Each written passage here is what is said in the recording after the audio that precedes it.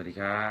บ สวัสดีครับเพื่อนๆสมาชิกทุกท่านครับพบกับผมเหมือนเดิมครับโทนบางแควันนี้มาสายนิดหนึ่งครับน่ามาสายนิดหนึ่งครับ แต่ก็มามาพูดคุยกันนะครับ วันหยุดครับ วันนี้วันหยุดนะครับ มาสายนิดหนึ่งครับวันนี้เป็นวันหยุดเนาะวันอาทิตย์เนาะก็หลาย ๆ ท่านก็ ไปไหว้พระทำบุญกันเนาะไหว้พระทำบุญวันนี้เป็นวันพระด้วยเป็นวันพระวันหยุดด้วยนะครับ ก็ เดินสายทำบุญนะครับ เดินสายทำบุญอยู่กับครอบครัวนะครับาบางท่านก็เดินสายทำบุญ บางท่านก็อยู่กับครอบครัวไม่ได้ไปไหนนะครับท่านที่ไม่ได้ไปไหนนะครับ ก็แวะเข้ามาพูดคุยกับผมได้นะครับ แวะเข้ามาพูดคุยกับผมได้นะครับแวะเข้ามาพูดคุยกันนะครับ วันนี้ก็จะมีเรื่องราวดีๆ เกี่ยวกับพระเครื่องนะครับ เกี่ยวกับพระเครื่องนะครับมาให้ดูเป็นภูมิความรู้กันนะครับ แบ่งปันความรู้ครับเล็ก ๆ น้อยๆนะครับ วันนี้จะเหรียญอาจจะไปดูพระย่อยนิดนึงนะครับ แต่ว่าแต่ว่าอ่าอย่างน้อยก็ได้ความรู้แล้วกันนะครับอ่าเอาความรู้นะครับมาแบ่งปันกันนะครับ เราก็จะมีความรู้มาแบ่งปันกันทุกวันอย่างนี้แหละครับ สวัสดีครับ ทุกทุกๆท่านเลยครับ คุณอรุณนะครับ คุณพี่ไก่เมธาครับ สวัสดีครับ คุณนัทนะครับ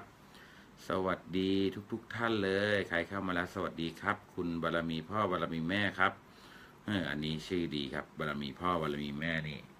ที่สุดแล้วนะครับ ชีวิตต้องสู้ครับ ต้องสู้ชีวิตต้องคุณชีวิตต้องสู้แชร์แล้วครับ ขอบคุณครับนะครับ สวัสดีทุกท่านเลยครับ ใครว่างเว้นก็แวะมาดูกันว่างเว้นเนาะใครมีภารกิจก็ทำภารกิจเดี๋ยวค่อยมาดูย้อนหลังนะครับ ก็ไลฟ์สดมันก็จะบันทึกการไลฟ์สดได้ครับ บันทึกการไลฟ์สดเรามาดูดูย้อนหลังเอาสวัสดีครับ คุณประกิจจันทร์สุวรรณสวัสดีคุณวิทย์เมืองทองครับ พงศกรครับ สวัสดีครับจานุท่ายาง สวัสดีครับ สวัสดีครับ สวัสดีครับ สวัสดีครับ คุณหนึ่ง GE ครับอ่านะครับได้ความรู้นะครับพิตตี้พักเครื่องครับ สวัสดีครับ สวัสดีครับ สวัสดีทุกท่านเลยนะครับอ่าตูลานซ้ายเข้ามาแล้วนะครับ มาบางกะ ทิง บางกระทิงใจนักสู้สวัสดีครับ วันนี้สับสับอะไรนะ สนุกครับ โอเคครับ ดีครับสนุกครับ พี่หนึ่งตีนเทวดาสวัสดีครับ คุณหยุนสวัสดีครับ นพพงศ์ก่อวงสวัสดีครับนะครับท่านใดเข้ามาแล้วก็สวัสดีทุกทุกท่านนะครับ กดไลค์กดแชร์กันบางท่านก็ไม่ได้อ่านชื่อเพราะมองไม่ทันนะครับ ไม่อ่านชื่อมองไม่ทันก็อย่ากกดกันนะครับ ดอยพิษณุโลก คุณดอยพิษณุโลก สวัสดีครับ ดอยชัยนาทมาแล้วครับ สวัสดีครับ คุณพิเชษครับ สวัสดีครับ คุณพิเชษ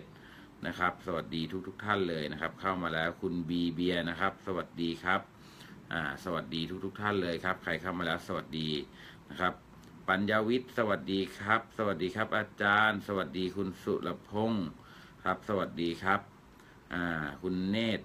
คุณเนตรยุทธนา สวัสดีครับ ตู่ลานทรายบอกแชร์แล้ว สวัสดีครับ นะครับ สวัสดีครับ เบียร์ไม่ไหวอย่าฝืน สวัสดีครับ คุณอรันนะครับ สวัสดีทุกๆ คนเลยคุณสาโรธคุณทิติวัฒน์นะครับ แล้วก็คุณโรสนะครับ คุณโรสนะครับ สวัสดีทุกท่านเลยนะครับ ใครเข้ามาแล้วสวัสดีครับ วันนี้ก็มีเรื่องราวครับเรื่องราวดีๆ ฟอฟัน ฟอฟันพี่ดำสวัสดีครับ คุณบานอ่าบัลบัลลานนะครับ สวัสดีครับ คุณอ่า สุพจน์ครับสุพจน์ สวัสดีครับนะครับ สวัสดีทุกๆท่านเลยนะครับ วันนี้ผมจะเอาเรื่องราวของพระเครื่องของหลวงพ่อโอวสีมาเล่าให้ฟังอีกครั้งหนึ่งนะครับ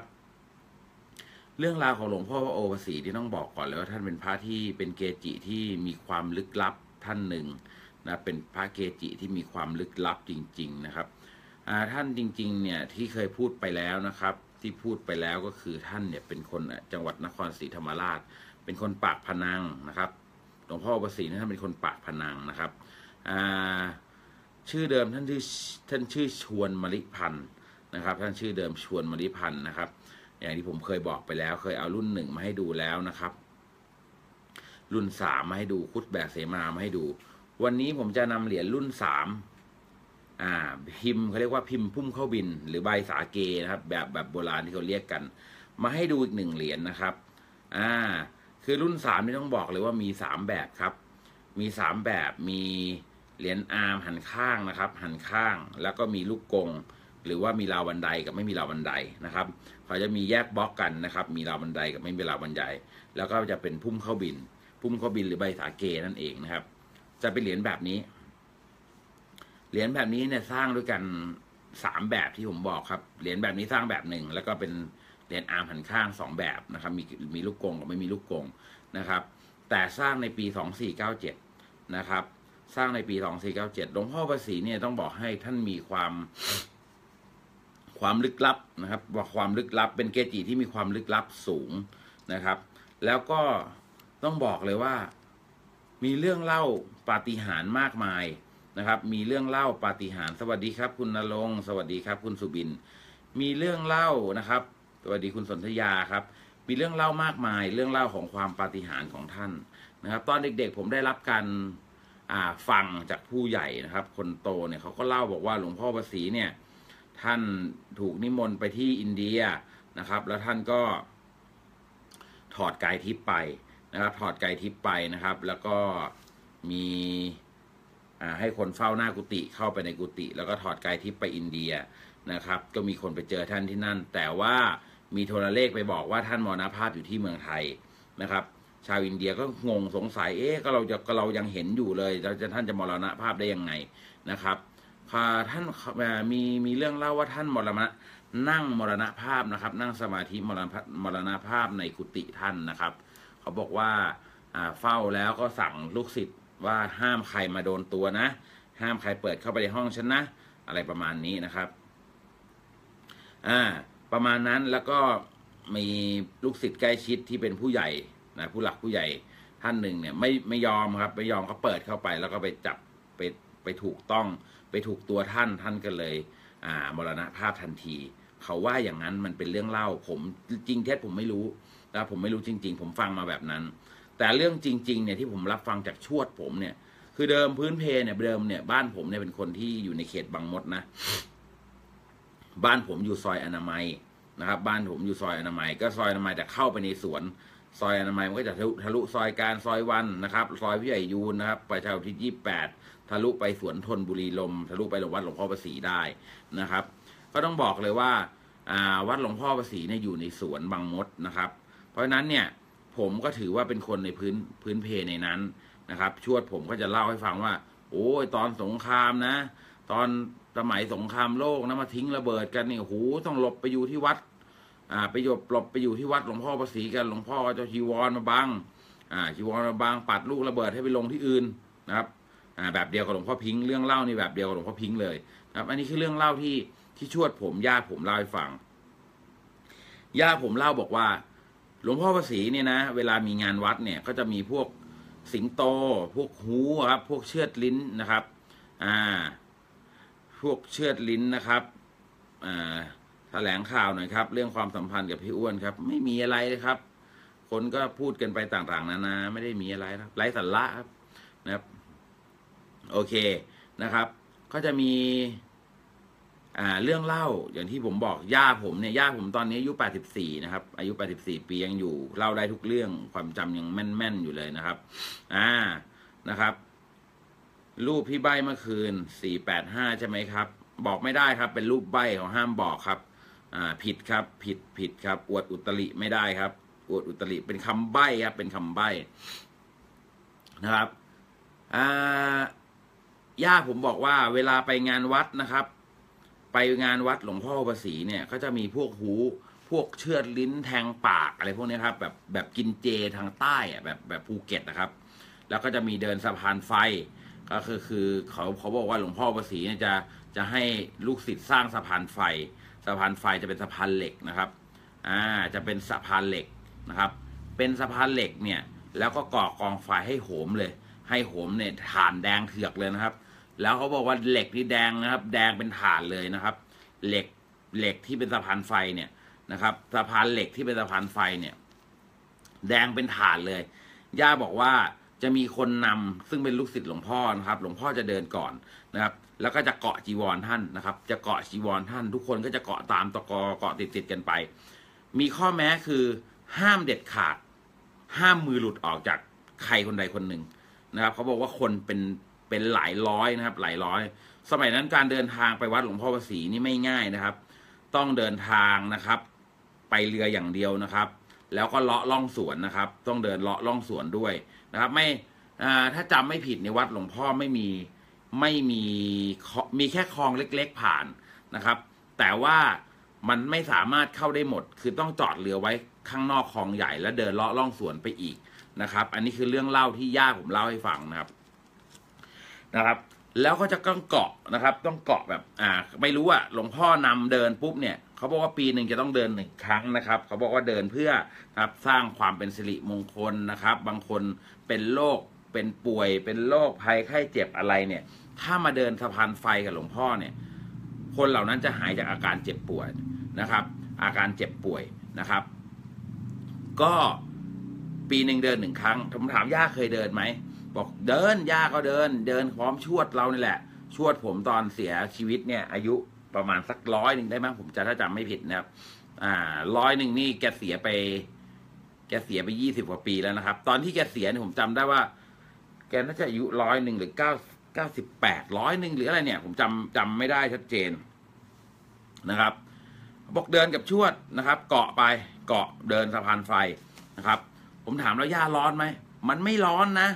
เดี๋ยววันไหนถ้าย่าผมมาผมจะให้เล่าให้ฟังเขาบอกว่ามันไม่ร้อนนะ แต่มันอุ่นๆว่ะอ่ามันมันไม่ร้อนคือไม่ร้อนแหละแต่แต่ผมก็มีความคิดโอ้โหแล้วไฟเป็นยังไงย่าโอ้โหไอแผ่นแผ่นนะ แดงเถือกเลย แล้วบอกว่าอ้าวแล้วมีแล้วแล้วมีใครพองไหมเขาบอกพองมีถ้าใครมือหลุดอะ ถ้าใครมือหลุดจากจีวร หรือว่าหลุดจากเสื้อ หลุดจากเสื้อนะครับ หลุดจากเสื้อหรือว่าหลุดจากใครคนใดคนหนึ่งเนี่ยนะครับ พองเลยนะครับปอบพองเลยนะครับ ต้องต้องพองเลยนะครับ ขาเป็นขานี่ลอกเป็นแผ่นๆเลยนะครับ พองเลยนะครับ เออ มันก็เป็นเรื่องแปลกนะ แล้วหลวงพ่อพอท่านเดินสะพานไฟเสร็จเนี่ย ท่านก็จะสะพายย่ามอันหนึ่งสะพายย่ามครับ เขาบอกว่าย่ามหลวงพ่อเนี่ย หลวงพ่อจะหยิบเงินออกมาแล้วโปรยโปรยใครเดินผ่านโปรยอ่าเห็นเห็นเด็กหลวงพ่อจะหยิบแล้วก็กำใส่ให้ให้ในมือเด็กเลย จะกำเงินเนี่ยใส่ในมือให้เด็กเลย จะกำเงินจะหลวงพ่อจะกำกำกำเขาบอกว่าย่ามหลวงพ่อเนี่ยครับล้วงเงินออกมาเท่าไหร่ก็ไม่หมด อันนี้เป็นคำพูดของย่าผมเลยนะ ว่าหลวงพ่อเนี่ยล้วงมือล้วงเงินออกมาจากย่ามเนี่ยล้วงเท่าไหร่ก็ไม่หมด และท่านมีย่ามเดียวนะครับ ท่านมีย่ามเดียว แล้วสมัยก่อนเนี่ย ที่จะได้เงินจากหลวงพ่อเนี่ย ส่วนมากเนี่ย จะเป็นเหรียญจะเป็นเหรียญกับแบงก์บาท เขาบอกว่า เวลาหลวงพ่อเวลาเวลางานปีเนี่ยเขาก็จะมีคนตอนเช้าเขาจะมีคนใส่บาตรตอนเย็นหลวงพ่อก็จะแจกทาน แจกให้พวกหู แจกให้พวกที่เชือดลิ้นแทงปาก ให้พวกที่มาแสดงมาช่วยนะครับ แล้วก็จะมีหนังกลางแปลงมามีมีคือมหรสพมากมายนะครับ มีงิ้วนะครับอ่าที่วัดเนี่ยจะมีงิ้วเพราะบ้านผมเนี่ยย่าผมบอกเขาชอบไปดูงิ้วที่นั่น มีงิ้วมีลิเกมี อ้มีสารพัดเวลาเวลางานประจำปีของวัดหลวงพ่อนะผมก็ถามว่าย่าแล้วแล้วดั้งเดิมเนี่ย ตรงนี้มันเป็นอะไรเขาบอกว่ามันเป็นสวนของตะเกาอะไรสักอย่างเนี่ย เป็นเป็นสวนเขายกที่ให้เขายกที่ให้ตรงนั้น แล้วทำอาสม ชื่อชื่อตาอะไรผมไม่จำไม่ได้อะผมจำไม่ได้ เขาบอกว่ายกที่ให้หลวงพ่อวสีเนี่ยมาอยู่ที่วัดวัดวัดวัดโอภาสีเนี่ย ในราวๆน่าจะประมาณราวๆปีแปดต้นๆนนะประมาณสักเจ็ดปลายปลายแปดต้นๆนะครับเจ็ดปลายปลายแปดต้นๆประมาณนั้นประมาณนั้นนะครับ อ่า ประมาณ คือคือถ้าทันสงครามเนี่ย ยุคสงครามที่มันหนักๆนี่ก็คือสงครามโลกครั้งที่สองนะครับ สงครามมหาเอเชียบูรพานะครับอ่ามาใหม่ ๆ เนี่ยเรื่องเล่าก็คือมาใหม่ๆหลวงพ่อท่านหลวงพ่อวสีท่านเป็น กสินไฟ พอเป็นกสินไฟเนี่ย ของทุกอย่างท่านจะไม่มีการสะสม ท่านจะเผาทิ้งหมดนะครับ ใครเอาอะไรมาถวายท่านก็แล้วแต่ ท่านจะเผาทิ้งนะครับ เผาทิ้ง แต่ถ้าใครเกิดความรู้สึกรู้สึกเสียดายนะครับ ของเหล่านั้นจะกลับไปอยู่ที่บ้านเหมือนเดิม อันนี้เป็นเรื่องที่เขาเล่ากันต่อๆมาเรื่องจริง ๆ นะครับ อ่า ผมเคยถามย่าผมย่าผมบอกจริงโอ้โหนี่เรื่องนี้เรื่องจริงนะครับ คือคือสมัยที่ผมผมอ่า พออ่าเรียนเรียนประถมอะนะตอนเรียนประถมเนี่ย ผมก็สงสัยว่าเอ๊ะทำไมบ้านผมเนี่ยมีแต่พระหลวงพ่อวสีผมไม่ตอนแรกผมไม่รู้จักนะว่าพระอะไรนะเหรียญพลาสติกเนี่ยเหรียญพลาสติกเนี่ย ผมเอ๊ะมันอะไรพลาสติกเยอะแยะไปหมดเลยเต็มไปหมดเลยแล้วเป็นมีหลาย ๆ สีนะผมก็ไปเลือกออกมา ผมก็ติดเอาไปโรงเรียน แล้วแถว แถวโรงเรียนผมเมื่อก่อนผมเรียนโรงเรียนนาหลวง นาหลวงก็คือ โรงเรียนรัฐบาลแห่งหนึ่งในสมัยนั้นนะครับ แถวอยู่แถวประชาอุทิศนะครับผมก็จะติดไอเหรียญเหรียญพลาสติกเนี่ย ไปโรงเรียน ผมอยากรู้ ผมอยากรู้คือ ก็ว่าเอาเอาพระที่บ้านไปขายอะว่าง่ายๆนะครับแบบเด็กๆอะเนาะก็ไปขายกินขนมรู้ว่าเข้าใจว่าขายได้หรือเปล่านะครับ คือผมห้อยอยู่ แล้วลุงร้านพระเนี่ยก็ถาม เอ้ยไอ้หนู นี่เองได้มาจากไหนวะบอกของที่บ้านครับเอ้ยมีเปล่าลุงซื้อนะ ลุงซื้อโอ้โห ผมนึกภาพเลยอ๋อลุงซื้อเหรอ ที่บ้านกูคือคิดในใจโอ้โหบ้านกูมีเป็นร้อยกูมีเป็นขยง ก็เอาไป ผมเอาไปทุกวัน ลุงก็จะซื้อผมอันหนึ่งประมาณสักร้อยหนึ่งลุงจะซื้ออันละร้อยร้อยเดียวนะร้อยหนึ่งร้อยบาท ผมไม่ตังกินขนมทุกวันเลยวันละร้อยบาท แต่ผมไม่ค่อยได้กินขนมหรอกส่วนมากผมไปเล่นเกม สมัยนั้นเนาะไปนะไปไปไปกดเกมกดอะนะ ไปขายทุกวันนะครับ คือขายเท่าไหร่ก็ไม่หมด ลุงซื้อจนไม่กล้าซื้อผมอะคุณคิดแล้วกัน ลุงซื้อจนแบบ เฮ้ยไปไปเองไปเอามาจากไหนเยอะแยะว่าอะไรเงี้ย ผมขายทุกวัน ผมเอาไปขายทุกวันนะครับ เอ่อพอลุงแกซื้อแล้วแกอยู่ๆแกก็หายไปปิดร้าน ร้านแกก็ไม่เปิด ร้านแกจะมีร้านพระเลี่ยมพลาสติกอยู่ตรงโรงเรียแยกนาหลวง แกก็หายไปเว้ย กก็หายไป ผมก็ เอ๊ะเอ๊ะลุงแกไม่มาอ่าก็เริ่มศึกษาเริ่มดูหนังสือสมัยก่อนหนังสือมันจะไม่มีหนังสืออะไรมาก มันจะเป็นหนังสือมหาโพธิ์เป็นหนังสือศักดิ์สิทธิ์ เป็นหนังสือเซียนพระอะไรพวกเนี้ย เป็นหนังสือแบบโบราณโบราณนิดหนึ่งผมก็ดูหนังสือ เอ้ยเอ้ยทำไมหนังทำไมพระที่เราเอามา มันไม่มีขาย มันไม่มีลงหนังสือเลย เราไม่เคยเห็น วันหนึ่งผมก็เจอในหนังสือเล่มหนึ่งเฮ้ยมันมีเว้ยอ๋อร้านเขาอยู่ท่าพระจันทร์ผมก็ไอ้ท่าพระจันทร์แม่งไปทางไหนวะผมก็เอาเลยวันหยุดเสาร์อาทิตย์ ผมก็เอาเลยนะครับ ก็ออกจากบ้านถือพระไปเต็มเลยไปท่าพระจันทร์อันนั้นเริ่มสักป .4 ป .5 นะไปท่าพระจันทร์นะครับ ก็เอาไปแต่เราก็ไม่รู้หรอกว่าพระที่เราเอาไปมันมีค่าอะไรมากมายนะเราไม่รู้หรอก เหรียญหลวงพ่อวสีนะครับ รุ่นแรกเนี่ยคุณเชื่อไหมว่า ผมจำได้เลยว่าเป็นเหรียญกลมๆผมจำได้เลยเป็นเหรียญรุ่นแรกแน่ๆนะครับ เอาไปขายท่าพระจันสมัยนั้น อ่า สวัสดีครับพี่วิทยา เอาไปขายท่าพระจันสมัยผมเอาไปนะคนแม่งลุมเต็มเลย คือคนลุมเต็มเลยนะครับ ตอนนั้นอะคนลุมเต็มเลย เด็กน้อยเข้ามาในท่าพระจันนะเฮ้ยมึงเอาพระมาจากไหนเนี่ยโอ้ทั้งขู่ทั้งปอบทั้งนู่นทั้งนี่ นะครับผมจำได้เลยขายไปเหรียญละสามพันแดงแป๊ดเลยสามพันเนี่ยนะครับ ขายไปสามเหรียญนะครับ คือที่บ้านมีเยอะไงสามเหรียญนะแล้วก็ไม่รู้จะเอาเงินไปใช้อะไรนะครับ เออเราก็ไม่คือคือคุณเข้าใจไหมว่าสามพันสมัยก่อนอะสามพันอะมันไม่รู้จะเอาไปใช้อะไรไงแล้วมันเป็นแบงค์ห้าร้อยมันมีแบงค์พันนะสมัยนั้นแบงค์ห้าร้อยใบใหญ่ๆอะ เออ ใช้ไม่เป็น ไม่รู้จะเอาเงินไปใช้อะไร ก็เอาเงินไปซ่อน ไม่กล้าเข้าบ้านด้วย ไม่กล้าเข้าบ้านนะครับ เออ แล้วสุดท้ายวันหนึ่งก็ไปซื้อของเล่นแจกเพื่อน เออ ก็ไม่รู้จะเอาเงินไปทำอะไรนะก็ไปซื้อของเล่นแจกเพื่อนหมดซื้อจากกายงจากกายานซื้อทุกอย่างนะครับ นี่ก็คือเรื่องราวที่ผมพระที่บ้านผมหลวงพ่อวสีนะครับนะครับ เออนะครับ ก็เนี่ยแหละ คือผมถึงบอกว่าผมถึงผมผมถึงชอบหลวงพ่อประสีเป็นพิเศษ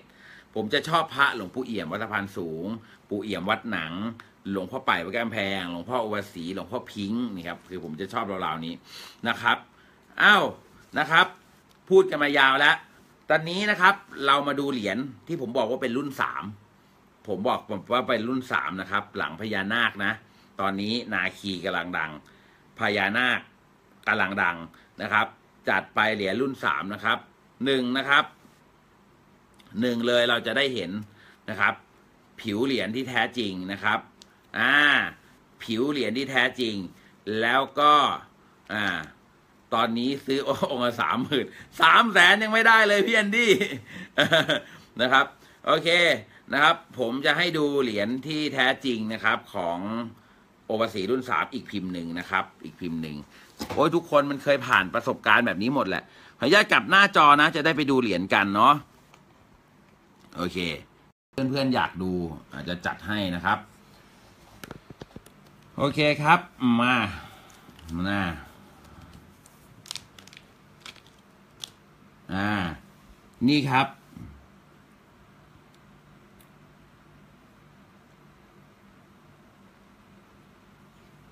ศึกศึกรับไหมครับ ต้องดูว่าศึกยังไงครับ อ่า นี่คือเหรียญหลวงพ่อประสีนะครับ อ่านี่ครับ ข้างหลังข้างหน้านะครับ ข้างหน้าจะเขียนว่าหลวงพ่อโอภาสีนะครับ อ่า เขาจะเรียกว่าพิมพ์พุ่มเข้าบิน พุ่มเข้าบินนะครับ พิมพ์พุ่มเข้าบิน หรือว่าเรียกง่าย ๆก็คือ อ่าหมายก่อนเรียกเรียก เรียกใบสาเกใบสาเกนะครับ นะครับอะเรียกเหรียญเหรียญพุ่มเข้าบินแล้วกันนะเอาเราเราเราเรียกว่าพุ่มเข้าบินแล้วกันนะครับอ่าเหรียญนี้นะครับที่เคยเจอนะครับ เคยเจอส่วนมาก ส่วนมากจะเป็นกระไหลทองกับผิวไฟนะครับ แบบอื่นยังยังไม่เคยเห็นนะครับ ยังไม่เคยเห็นอ่าลมดำมีไหมผมว่าน่าจะมีนะ น่าจะมีทั้งลมดำกระไหลทองผิวไฟแหละ แต่ส่วนมากที่เห็นจะเป็นกระไหลทองครับ อ่าเป็นกระไหลทองอะนะครับ เรียนนี้จริง ๆแล้วเก๊ไม่เหมือน ไม่ต้องสอนอะไรมากนะครับ ไม่ต้องสอนอะไรมากนะครับหนึ่งเลยนะครับ คุณดูนะครับที่ให้ดูนะครับ หน้าตาชัดเจนนะครับ หน้าตาชัดเจน หน้าตาชัดเจนนะครับว่าง่ายๆนะครับ อ่า ผิวคมชัดนะครับ ผิวคมชัดนะครับ เส้นผมนะครับ เส้นผม เส้นผมหลวงพ่อเนี่ยข้างบนหัวเนี่ยนะครับ บนหัวหลวงพ่อเนี่ยครับบนศีรษะหลวงพ่อเนี่ย เส้นจะชัดเจนนะครับ คมนะครับ อ่า แล้วเหรียญรุ่นนี้นะครับ คุณดูนะครับจะมีความหนาเป็นพิเศษนะครับ จะหนากว่าหลายเหรียญหลาย ๆ รุ่นนะครับ ด้านหลังนะครับ ก็จะเป็นออ่างนะครับออ่างที่ย่อมาจากโอภาสีนะครับออ่างสัญลักษณ์ท่านนะครับ แล้วก็เป็นสวัสดิกะนะครับ สวัสดิกะแล้วมีอุณาโลม ซ้ายขวาเป็นพญานาคนะครับ แล้วก็จะเขียนว่าสองสี่เก้าเจ็ด คือพศที่สร้างนะครับ ตอนนี้ตอนนี้ผมจะให้ดูก็คือนะครับ ประเด็นเลยเหรียญนี้เนี่ย ที่ผมเห็นมาเนี่ย ยังไม่เคยเห็นเก๊ดีนะครับ เพราะนั้นเนี่ยเรามาสร้างภูมิคุ้มกันกันก่อนนะครับหนึ่งเลยนะครับ เวลาพลิกเหรียญมานะครับ คุณดูที่ซ้ายมือของคุณนะครับ ซ้ายมือของคุณมันจะมีเส้นบางๆตรงนี้เส้นหนึ่งนะครับ เนี่ยครับ เส้นบางๆตรงนี้เส้นหนึ่งชัดๆเลยนะครับ เส้นนี้ก็ต้องคมๆนะครับ คมๆนะครับ อ่าคมๆแล้วดูหน้านะครับ ดูหน้าตานะครับ ท่านจะคมมากนะครับนะครับ อ่านะครับ ง่ายๆเลยนะครับ อันนี้คือนะครับปลายออ่างนะครับ ก็จะมีเส้นแตกเล็ก ๆนะครับ อ่าคำว่าหลวงพ่อก็จะมีแตกเล็ก ๆ ตรงรอลิงนะครับ ตรงรอลิงนะครับ อันนี้คือเบสิกพื้นๆ แล้วเหรียญรุ่นนี้นะครับ เหรียญรุ่นนี้ต้องบอกเลยว่าอ่าโลหะนะครับ พื้นเหรียญเนี่ยจะยับยับนิดหนึ่งเหมือนเขาเหมือนเขารีดโลหะไม่ดีนะครับอ่าผมให้ส่องแล้วกัน เดี๋ยวผมจะส่องให้ดูแล้วกันครับอ่าไม่ได้ไม่ได้ต้องต้องต้องต้องย่อลง อ่าเห็นไหมครับ หลวงพ่อโอวสีทุกรุ่นช่างแกะพิมพ์คนเดียวกันไหมครับ ไม่ไม่มั่นใจครับ แต่น่าจะโรงงานเดียวกันนะครับ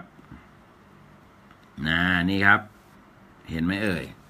แหมวันนี้ทำไมกล้องมันไม่ค่อยชัดเลยนะอ่าเห็นไหมครับนะเห็นนะ โอเค เส้นผมตรงโค้งขีดข้างบนคมๆนะครับ หน้าผมคมๆนะครับ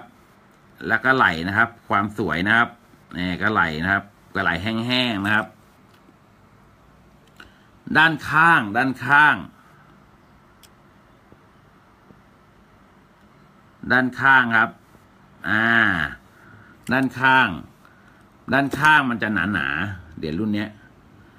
เปิดไฟเขาจะเปิดแล้ว เปิดเหมือนทุกวันแหละนะครับ เปิดเหมือนทุกวันแหละ แต่ว่าวันนี้มันรู้สึกว่ามันไม่ค่อยชัดยังไงไม่รู้ ถ้าเหรียญศึกจะต้องเห็นด้วยใช่ไหมครับ มันต้องดูว่าศึกยังไงครับ อ่า แล้วเหรียญรุ่นนี้นะครับ คุณสังเกตง่าย ๆนะครับ สังเกตง่าย ๆ ด้านหลังนะ ด้านหลังเนี่ย ขอบพวกนี้มันจะตั้ง เห็นไหมครับ เห็นขอบพวกนี้ไหมขอบมันจะตั้ง อ่า ถ้าเป็นของเก๊ที่เก๊ไม่ดีเนี่ยนะครับ มันจะล้มล้มนะครับ มันจะล้มขอบพวกนี้มันจะไม่ตั้งนะครับ อ่า แล้วระหว่างเลขเก้ากับเลขเจ็ดเนี่ยบล็อกมันจะแตกนะครับ เห็นไหมครับ เห็นนะครับบล็อกตัวนี้มันจะแตกครับเห็นไหมครับ ตัวอุนะครับ มันก็จะมีมันก็จะมีแตกเป็นเส้นขึ้นมาคมๆเลยนะครับ อ่า ตรงนี้นะครับ แตกวิ่งมาเลยนะครับ ตรงพญานาคตรงนี้ก็จะมีเส้นเชื่อมเส้นแตกครับ เห็นไหมครับ เห็นไหมแล้วที่เจอบ่อยๆนะครับ สังสังเกตง่าย ๆพญานาคส่วนมากเนี่ย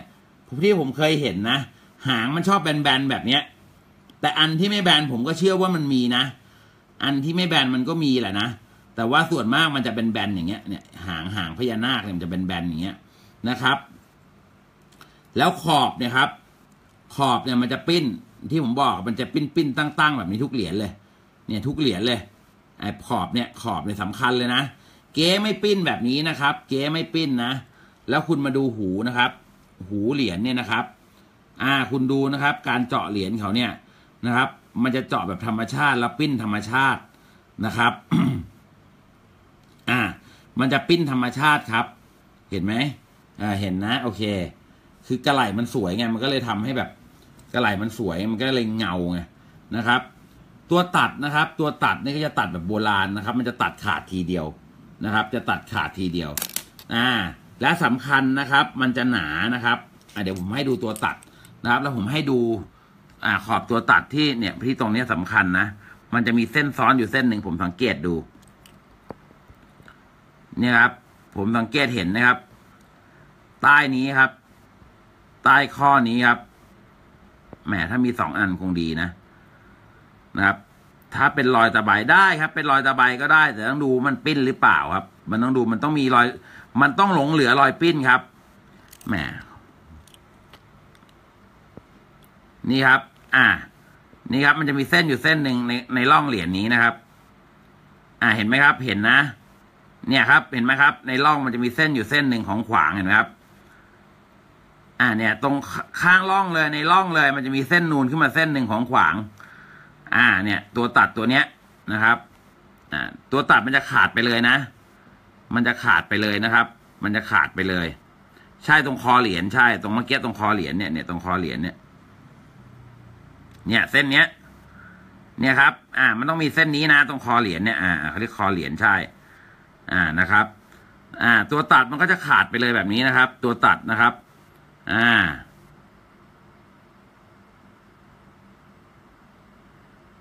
คุณโทนช่วยรบกวนบอกทีมงานตอบข้อมูลใน inbox ให้หน่อยครับ ผมจะโอนเงินประมูลพระเมื่อวานโอเคได้ครับ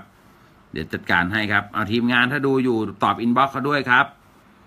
อ่า ตัวตัดมันก็จะขาตัดขาดนะครับ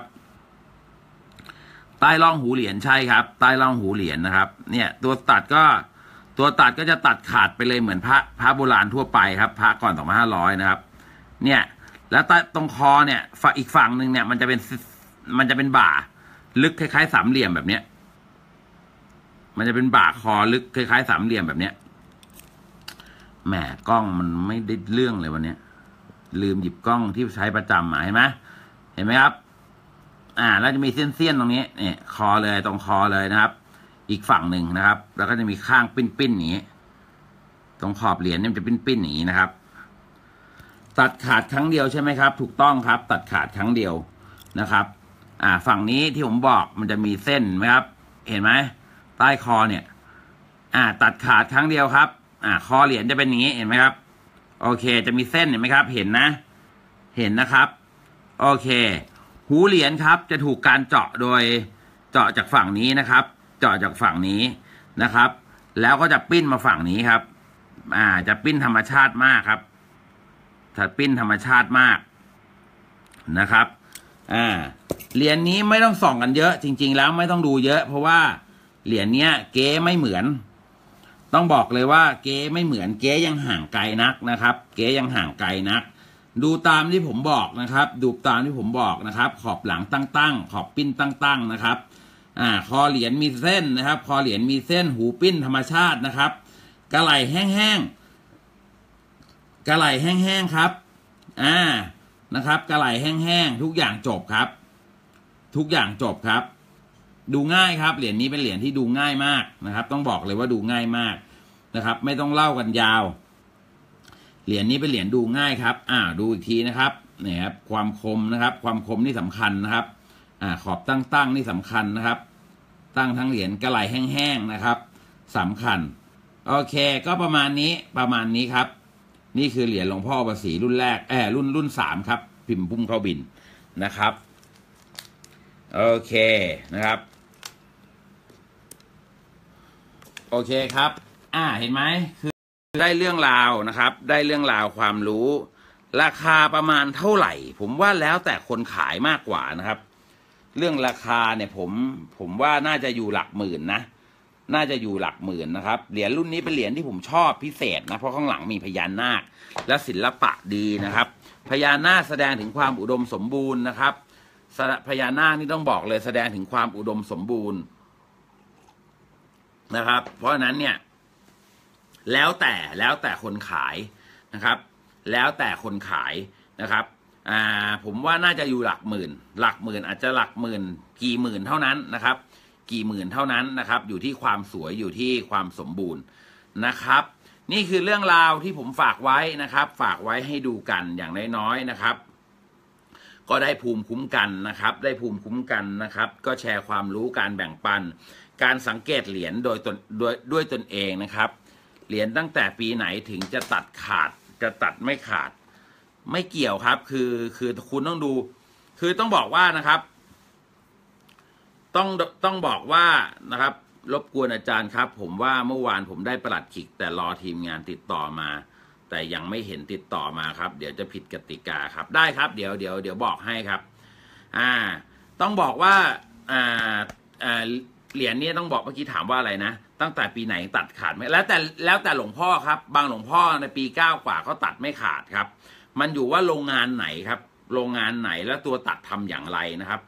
บางโรงงานตัวตัดมีตั้งหลายตัวตัดนะครับ พระบางอย่างมีตัวตัดตั้งสองสามตัวตัดนะครับ เพราะฉะนั้นต้องสังเกตหลาย ๆ อย่างนะครับ แล้วก็มวลโดยรวมนะครับ มันบอกไม่ได้ว่าปีไหนถึงปีไหนนะครับ โอเคครับ เดี๋ยวเรื่องการส่งอินบ็อกซ์ไปนะครับ เดี๋ยวให้ทีมงานของโทนบางแค FC นะครับเวลาจะโอนเงินก็แค่สองบัญชีท่านพักเครื่องเมืองไทยนะครับ กับโทนทองสุกแก่นครับ สวัสดีครับคุณเกียรติ CK คครับ มาสายเนาะเดี๋ยวดูย้อนหลังเอาเนาะโอเคครับอ่าโอเคครับ ยังไงก็ฝากไลค์ฝากแชร์นะครับ ยังไงก็ติดตามกันนะครับ ก็เรื่องราวของพระเครื่องหลวงพ่อประสีนี่ยังมีมากมายเดี๋ยวผมจะนำยกมาเล่าให้ฟังกันนะครับ เพราะว่าเป็นพระที่ ผมค่อนข้างจะชอบเหมือนกันนะครับเพราะชอบแล้วก็ศรัทธาท่านเหมือนกันนะครับ โอเคครับ รับของแล้วครับสองชิ้นเร็วมากครับ ขอบคุณครับ ผมไปก่อนนะครับ วันนี้วันหยุดครับพักผ่อนขอให้ทุกท่านนะครับ จงโชคดีมีชัยนะครับ ถูกลอตเตอรี่รางวัลใหญ่ ถูกหวย